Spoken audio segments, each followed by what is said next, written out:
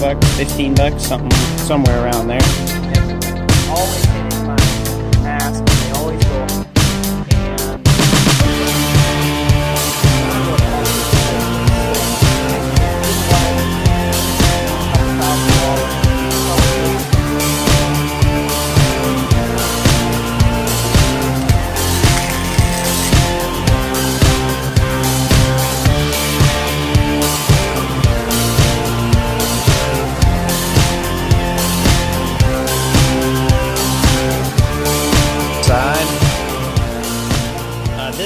Probably where I started. I wanted to show you guys a little, I guess you could call this a welding hack or a, a welding life hack, and it it involves a fan of all things.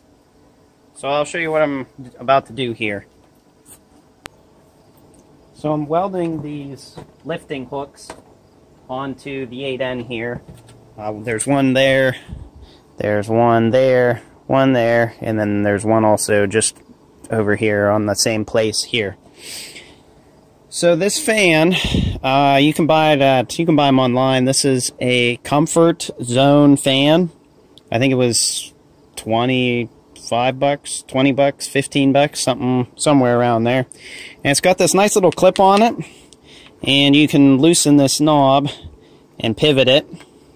And you can also turn it.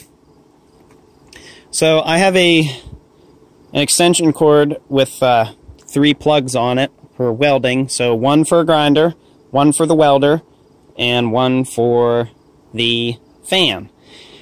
So I, being that I'm welding with flux core, I do not like having to deal with all of the fumes. And I swear, every time I'm welding, those fumes follow me everywhere. They're always hitting my mask, and they always go up underneath the mask, and or, or the welding helmet, and then they, uh, you know, you have to breathe those fumes. And I, I sometimes just try to, I try to hold my breath doing this, and it's really doesn't make it for fun welding. I mean, I don't mind welding to begin with, but having to hold my breath to do this is not fun at all.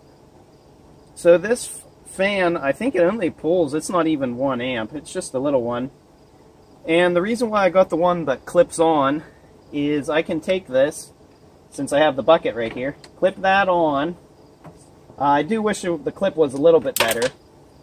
And then what I can do is take the fan here and aim it right where I'm welding and they say you're not supposed to weld in the wind, and obviously this would be a lot of wind to be welding in.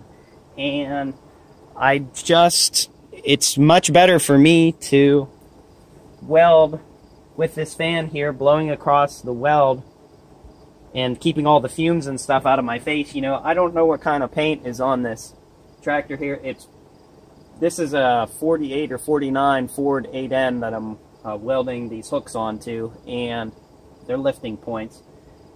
And I don't know what kind of paint they use, and you know, I just don't want to be breathing this stuff. And obviously, I've cleaned the weld and stuff, but you know, you can melt paint and whatnot even further away from the weld because obviously things are getting so hot. But this fan is a lifesaver, and I really like using it. I'm, I've enjoyed putting these hooks on today, not having to be breathing any fumes whatsoever, uh, for the most part.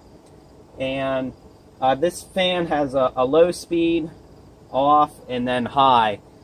And uh, it seems to work quite well, so I guess you guys can watch me watch me weld with the fan on, and then I guess I'll weld with the fan off, or maybe I'll do it off first. Yeah, you know what, I'll do that. So I'll weld with this without the fan on, and you'll see the smoke and stuff. It, it always just seems to follow me everywhere where I go, no matter if I keep my head out of the smoke plumes and stuff. But I know a lot of people say you're not supposed to weld in the wind, but this is flux core, and you could also do this with stick. And if you didn't want it sitting on the, or if you didn't want the fan blowing on the weld, then you can just put it above it, and then hopefully it'll uh, it'll take the majority of the fumes away, and it's really uh, a lifesaver. I was looking at buying a fume extractor, and we only have in this building, we only have a 20 amp service for 110 volt. I don't have any 220 volt electricity, so this was really my only option to keep the uh, fumes and stuff out of my face. A fume extractor is a couple thousand dollars, and you could probably make one out of a blower of some sort, but I don't have enough electricity here to run something that big, where this fan only is less than 1 amp, so I mean, it, it might be, I think it's like 0.4 or 0.6 of an amp, uh, something like that, and I mean, it doesn't draw hardly any electricity, and I haven't tripped a breaker or anything, so I guess without further ado, let's start welding, and you guys can see see what the plume of smoke does without the fan and with the fan. So this will be welding without the fan on. So no fan here whatsoever. And you'll see it's, of course, whenever I'm doing this, I'm sure the uh, smoke will not be an issue, but uh, you never you never know.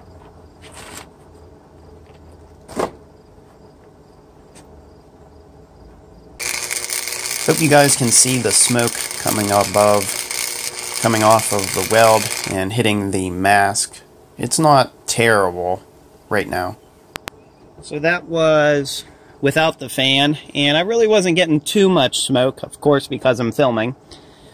So I'll turn this on on turn the fan on and then you guys can see what it looks like uh, with the fan blowing. So this is with the fan on. I think you guys will be uh, pretty amazed at how well this fan works with just blowing the smoke away from the mask. Uh, even to start with here, you can't even see it. And then I guess I get to a dirtier part of the steel or whatever the reason may be. Now you can see the, the smoke is blowing away from my face and I'm, I'm not breathing any of this smoke whatsoever and these are galvanized hooks that I'm welding on here so it's not good to be breathing the smoke that comes off of those from welding. So I hope you guys could see there how well the uh, fan worked and it seemed to blow the the welding fumes away just fine and really have no, I have no complaints. Uh, this thing seems to work pretty well and it is pretty cheap. You know, this fan's only uh, 25 bucks at the most, I think. And a a fume extractor is, I don't know, a few thousand dollars and the uh, squirrel cage blower and stuff. This is the cheapest thing, the cheapest route to go, and I, I think this is a, a pretty good thing to have, and it's cheap, so, and it seems to work quite well. So I hope everyone enjoyed this video. Uh, don't forget to like, comment, and subscribe for more, and hopefully we will see you all in the next one. Thanks for watching.